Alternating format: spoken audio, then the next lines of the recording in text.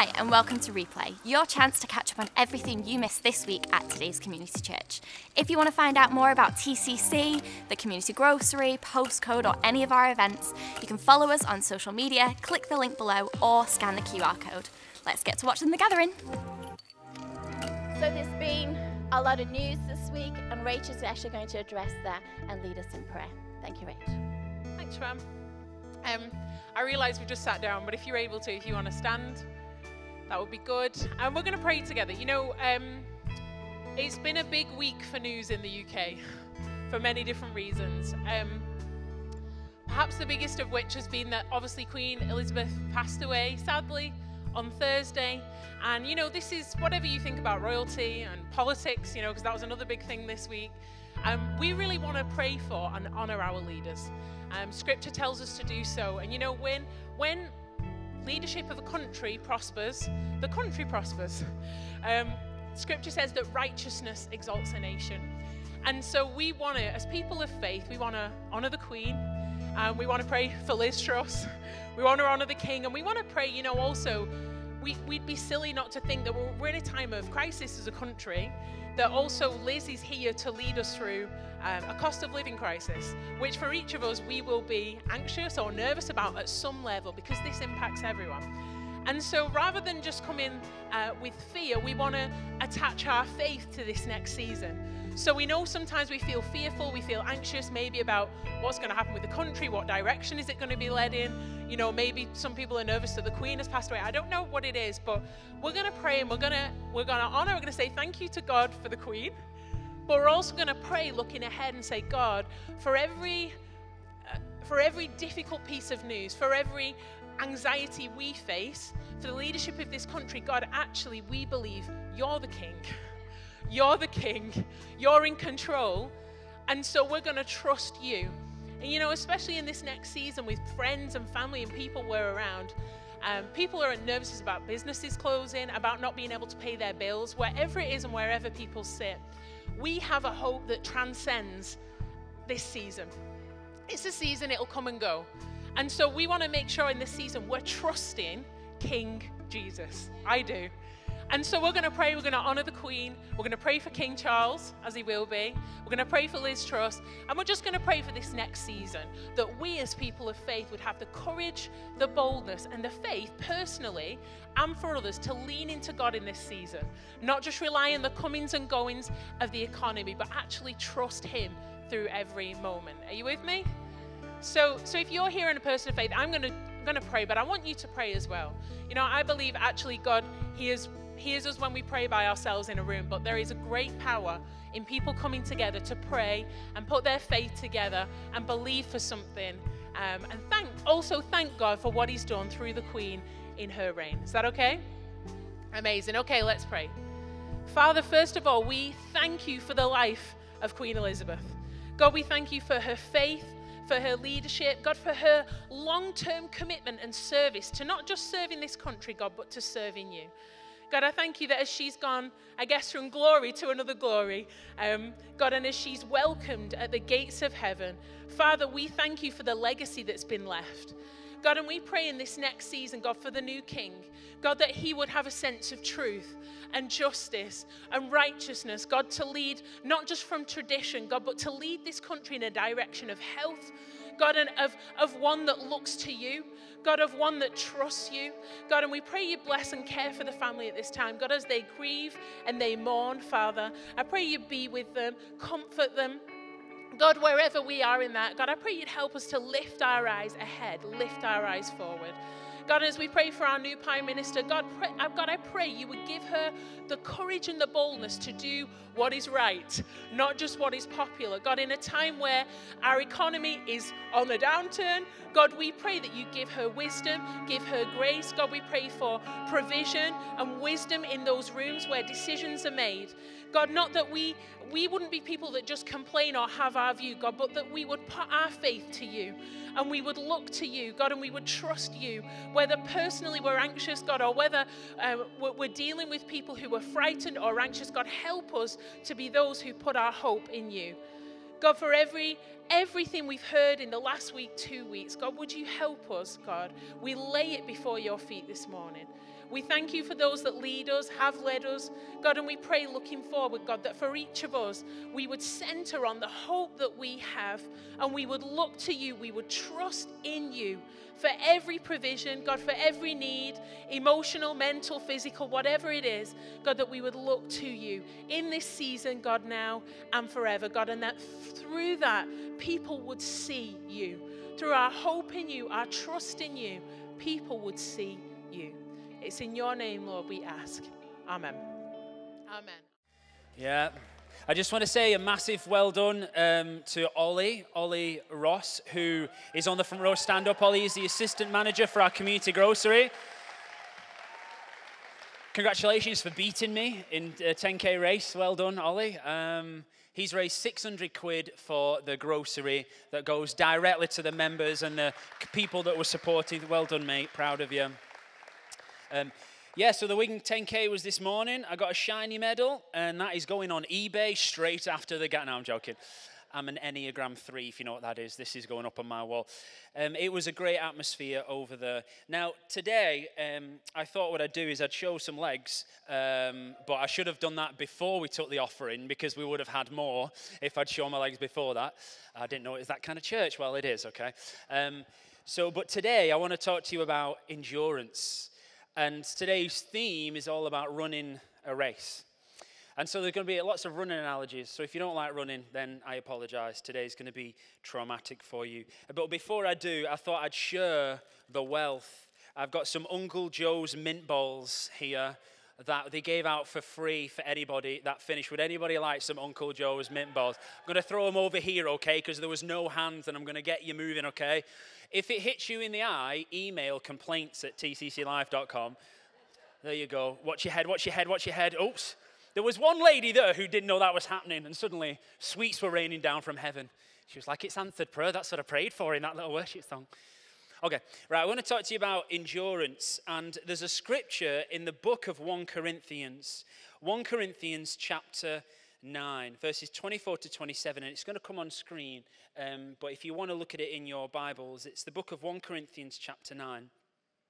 The, the reality is, my friend, that life is an endurance race. It is a marathon and it is not a sprint. And those people that live life like a sprint live usually for the weekend. They're just trying to get to the weekend, get to the Friday night. But have you ever noticed that people are always unhappy on Monday morning? It's this cyclic way of living. But they do that with other ways, from paycheck to paycheck, from holiday to holiday. But that's not the way you were designed to live your life. Did you know that you can have everlasting peace in your heart every single waking moment of your life? Did you know that the Creator God is with you 24 7, even watching over you as you sleep? Even your life is a marathon race with God. He is ever present and eternal and always there. So let's read this. In the book of 1 Corinthians, chapter 9, the um, guy called Paul writes this, and this is what he says You've all been to the stadium and seen the athletes race. Everyone runs one wins. Run to win. Run to win. All good athletes train hard, and they do it for a gold medal that tarnishes and fades. You're after one that's gold eternally. I don't know about you, but I'm running hard for the finish line. I'm giving it everything I've got. No sloppy living for me. I'm staying alert and in top condition and I'm going to get caught, I'm not going to get caught napping, telling everyone else all about it, and then missing out myself. Run to win. But you've got to endure, right? You've got to run past the stitches. You've got to run past the pain. It's not all downhill and easy running. Sometimes there's a sharp incline. Sometimes the weather's bad. Sometimes you just got to go through some stuff. That's why I think the utmost respect must go to our late Queen. So I don't care whether you're a royalist or a Republican or whatever, but you cannot shame this woman for her duty and her selfless um, care of this nation through all the changes. I read this, um, I read this little bit in Sky News um, from a guy called David uh, Blevins, and this is what, what he says. And I think this story represents the power of faith in Queen Elizabeth's life. Uh, this is what it said. It was just on my news feed yesterday. It said, I've reported the Queen's significant role in this peace process for 30 years, but nothing comes close to 1995, uh, writes the Sky News senior Ireland correspondent David Blevins. Uh, Blevins. Downtown Radio, where I was working at the time, had sent me to a conference in Windsor. The schedule included a church service on Sunday morning, but only three of us out of the 150 wakened in time to attend. That was a busy Saturday night, if you know what I'm saying, for all those people. Drinks on the Queen, way! Um, at the end of the service, the vicar approached our pew and said, Her Majesty would like to meet delegates from the conference. Wait, what? I thought. The Queen and Duke of Edinburgh had been at the service, but screened off from public view. Three of us were granted a 15 minute audience with the monarch, during which she expressed a keen interest in peace negotiations. I'll never forget those 15 minutes, and my children, who've all grown up now, have heard this story so often they tell it better than I do. And they learn the moral of it anytime we had a church service to attend and they were not enthusiastic. They joke and say this never miss an opportunity to worship the king because you might just get to meet the Queen. Mm-hmm. What a remarkable woman. Faith is instrumental in you enduring the stuff you're going to go through. Fundamental. Some of you say, yeah, and amen to that because you know what it feels like. You know what it feels like when it makes more sense to just throw in the towel, believe in somebody else, follow a fad. It takes more guts to stick to your guns and see the race till the finish.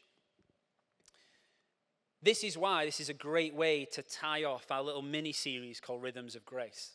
Over the last few weeks, you've heard some fantastic messages from our associate leaders, Siobhan and Rach.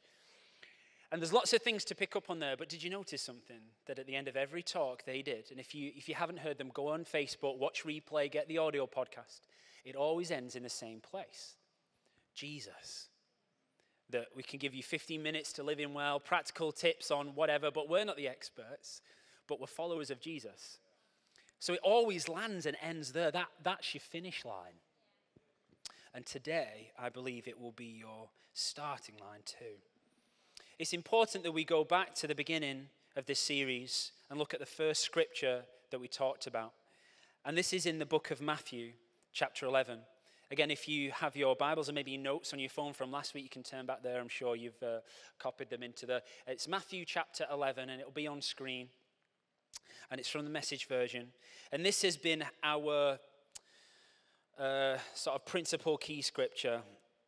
Matthew 11, 28 to 30 says this, and this is, this is Jesus' words. Are you tired and worn out, burnt out on religion? Then come to me. Get away with me and, re- and you recover your life, I'll show you how to take a real rest. Walk with me and work with me. And watch how I do it. Learn the unforced rhythms of grace. I won't lay anything heavy or ill fitting on you. Keep company with me, and you'll learn to live freely and lightly. The good news for you, my friend, is that someone wants your company. The King of the ages, the King of kings himself, wants to be your friend. He wants to stand next to you through every trial and tribulation. He wants to hold your hand and hold you. He wants to hold you up and he wants to set the pace. And it's him who chooses you. The King of glory chooses you. You matter. You're of value. So don't let anything in your mind trick you and try and suppress you into some melancholic state that you're not good enough. Because the truth is, you're not worthy for the king's company. But that doesn't diminish your value. Nay, it's the opposite. That even though you're not worthy to be in the presence of a perfect and holy king, he still chooses to pivot and be with you. You have an infinitely more value than you realize today. That deserved a, a clap.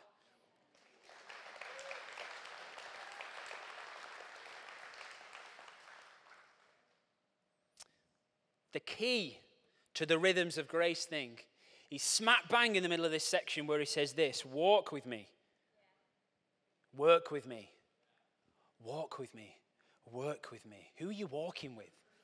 Last week was a great message from Rach, ultimately about walking. Who are you walking with? Before that, phenomenal message from Chevy. Who are you working with? What's your life about? Walk and work. And that's the key. You're not alone, He keeps you company.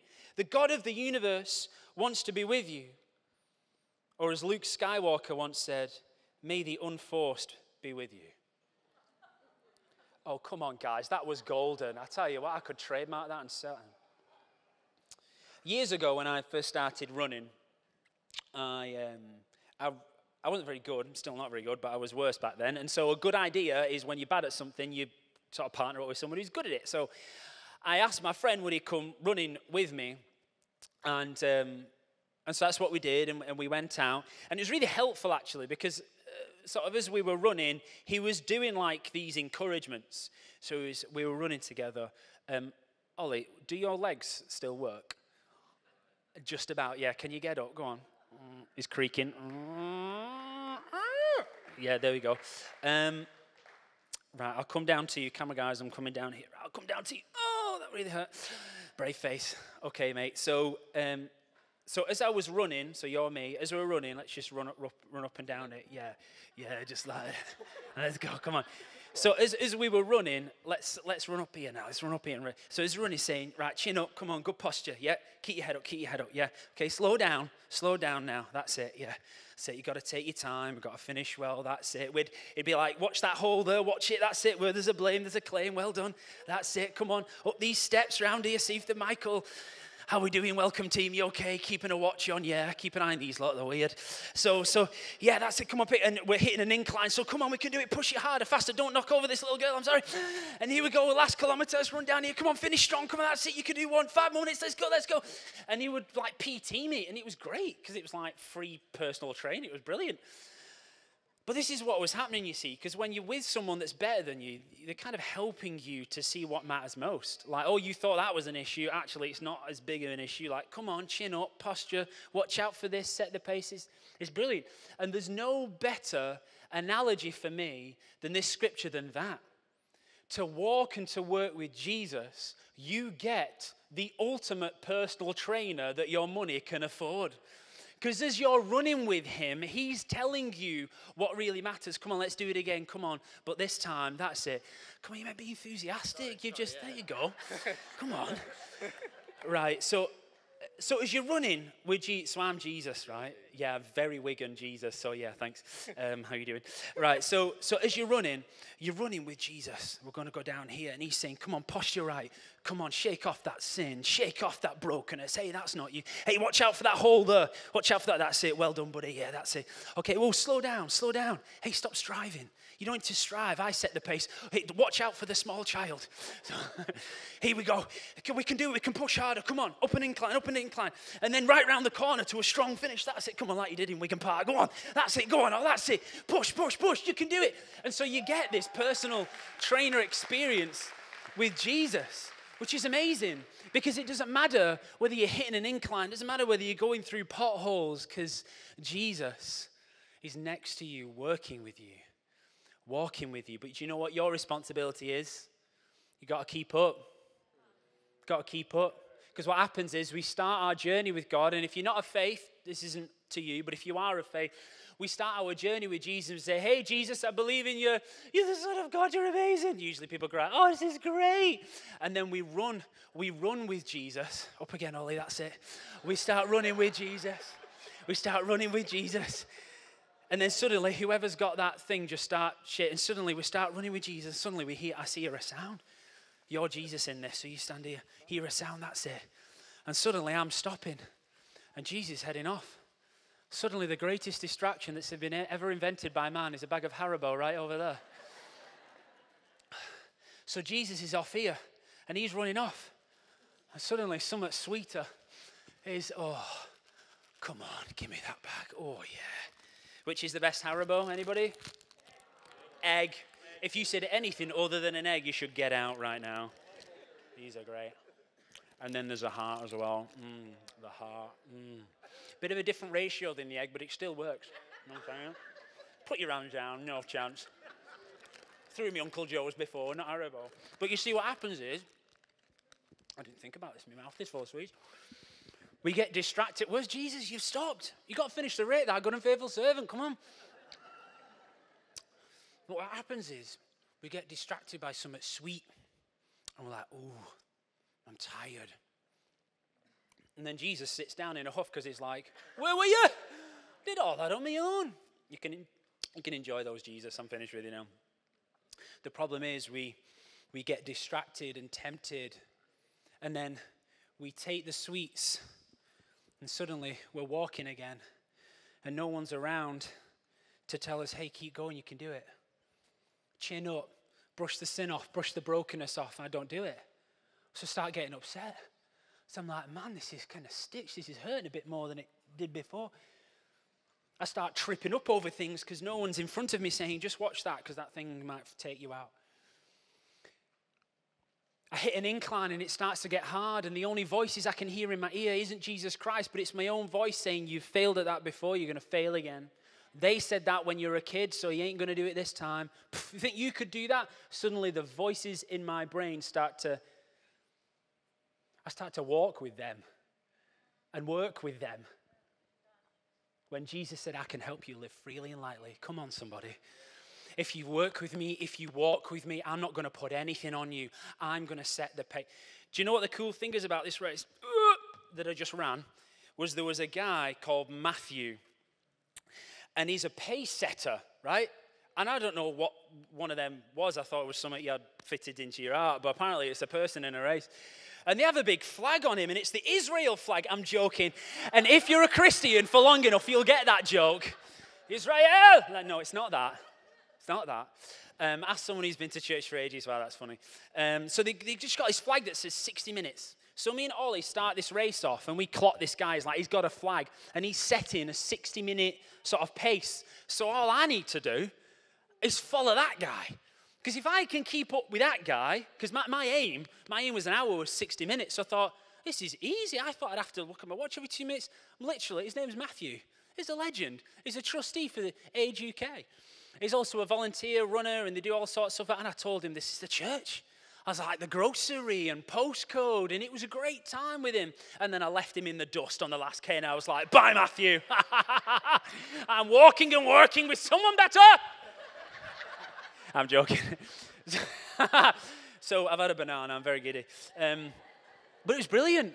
And you know what? All the way through that race, knowing that I would have to get up and speak to you guys after, was this Jesus is the great pace setter.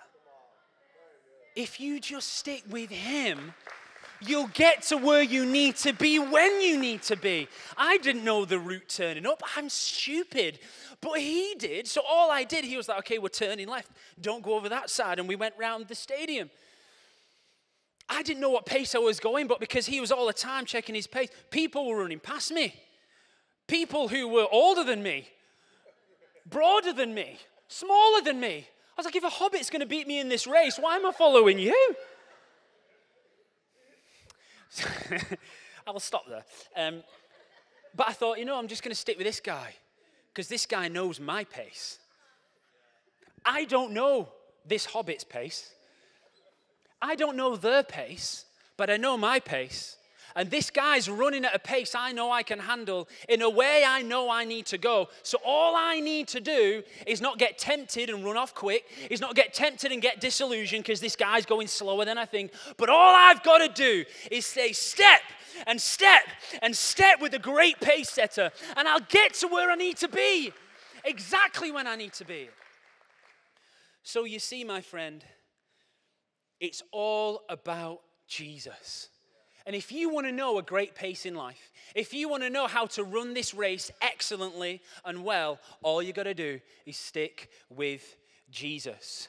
But it's your responsibility, it's not his. The great Bible says nothing separates us from the love of Christ. True, but we create some distance sometime. Jesus is off running and say, Hey, follow me, come with me, all you who are weary. Hey, we, I'll go at a pace you can follow. But it's your responsibility not to fall back into old addictions and habits, not to walk away when things get hard. Just because there's a new thing, you think, Oh, that challenges my concept of. No, no, no. It's not religion, it's relationship. And if you stick with Jesus, that's your responsibility. So many times I see people come to our phenomenal church community. They have an experience with God that changes their life and something happens a month later where they get disappointed. Well, guess what, bud? That's life. And it's not about you, God, controlling life, but it's God helping you navigate life, helping you set your pace, helping you to watch for hazards, helping to brush you off and fix your posture, helping you to push when you need to push, when you need to lay off when you need to lay off, until you cross the finish line. So let me ask you this Are you creating distance between you and the pace setter? Are you too ashamed to admit the sin and the brokenness? Are you too to admit what's really going on? Are you letting things build up inside you that's creating resentment and bitterness between you and Jesus? Because it's very easy. All you need to do is come back to where Jesus is setting that pace. Okay, I'm done. Why don't we stand to our feet? I'd love to pray for you. I've got one more thing to say, but let me just pray for you.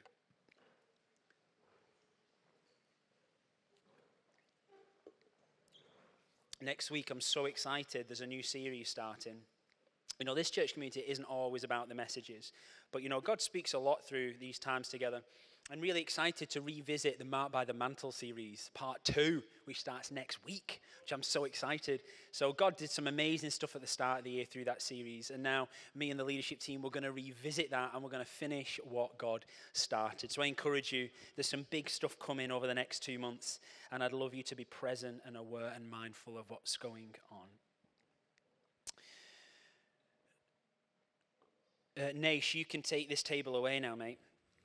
Um, so this is the medal we got from um, the Wigan 10K. I think it's real metal. I think. Um, I was kind of hoping it was chocolate though, which is a bit of a shame, but that's fine. Um, and what you do is when, when you finish the race, they give you a medal, don't they? And they say, well done. That were really good, that. Well done. And so, um, so they give you a medal, and you're like, yeah, woo, I did it, woo, yeah. And Eden, Eden, my daughter, just says, well, can I have your medal? So I'm like, often ends up in her room anyway, right? So you get this medal. But the reality is this you know, we all get medals in life, like business manager medal, and um, this car, a Mercedes, you know, that's a medal. Um, this reputation and this kind of stuff, we all get medals, right? But the thing is, when you die, you give all your medals away. Because suddenly, you're not in the presence of winners anymore, but you're in the presence of the world's greatest loser. Is Jesus. So you go to heaven, and every single medal that you've ever won in your entire life, Jesus is on the throne. This is what you'll do you'll take it off your neck and you'll stick it on the floor. And you'll go, I'm not worthy to wear that medal because you lost it all for me. So, in my eyes, Jesus, you're the winner, not me. Take it. Because that's like what I've got to give you. I've nobody, I've no money. They don't do contactless here in heaven. So just take everything that I was successful at, and it's yours and you lay it before his feet. Because in this life, you want to be a winner, and that's great, and you should go for gold. But understand this there is someone who deserves so much more praise than a scrawny little medal that I got on a Sunday morning, and it's Jesus. And every single one, if you've not a faith in here, it doesn't apply to you.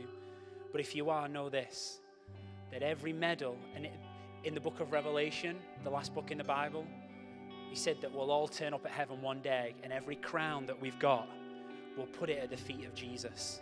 Because Jesus ain't wearing a crown. He's not. His body's, his body's the crown. The holes in his hands and his wrists are the jewels in the crown. The weird thing is, is that Jesus, Jesus ascended into heaven. There's only a few people that happened with in the Bible. So he has the body that he has had on earth in heaven. So we'll turn, we'll turn up, our body stays here, our spirit goes on. Don't know what we're going to look like. Jesus is the only one stood there looking worse than you did before you died. With bumps and burns and bruises and scars. That is enough to shake your soul today, knowing that that's what true endurance looks like. Not a medal, not the fact I had a brilliant 30 year career in this. That's all great, that's awesome. But Jesus is the great loser who won it all for you. That's another reason why I respect the Queen. Because you know there's no Queen in heaven, you know? That when you get to heaven, it's just going to be Lilibet there. But hey, Lilibet, look at all that that happened. Because when she gets to heaven, she'll take that crown off her head. I was king of it, I was queen of an empire. I was one of the wealthiest people in the world. But I never missed a Sunday service, Jesus, because you were the reason why I could endure past the wars, past the debt, past the crises, and it's all for you, Jesus. I have done. I am a good and faithful servant. I have finished this race. It was all about you, Jesus. And then she'll walk off go and find a husband. So let me ask you a question Are you creating distance between you and the pace setter at the minute? Let me close our eyes, let me pray for you. Jesus, we come to you and we say we're sorry for all the things that we've done wrong. God, the things that create that distance. We know nothing can separate us from you. And we understand, God, that it's our responsibility to work with you and walk with you. It's an invitation, but it's our job to keep up. So, Lord, we're sorry for all the things. If you're in here and there's stuff going on in your life, just begin to apologize to Him. So, Jesus, I'm sorry for doing that, for thinking that. God, I said I wouldn't do that again, but I did. Lord, I'm sorry that I've not been as committed enough. Jesus, I'm sorry I've let things get in the way. God, take my medals, take, take my crowns, take everything, Jesus, because it's all about you. I can't match what you did. Lord, take it. God, I'm sorry for the distance, Lord, I've created in my relationship with you. Lord, I'm coming back to the heart of worship. I'm coming back close to you. God, I want to walk with you. I want to work with you. Accept my forgiveness, Lord. I love you so much. I love you so much, Jesus. I don't want to give up on this race. And if you're in here and you're truly repentant, just begin to pray your own prayer. Jesus, I'm sorry. Hey, thank you for loving me no matter what. Thank you for receiving me back. I love you, Jesus. Thanks for watching. If you want to find out anything more about faith, Jesus, or our community, please reach out. Our team will be happy to help. You can DM us on social media or you can email us on info at tcclife.com. I'll see you next week. Bye.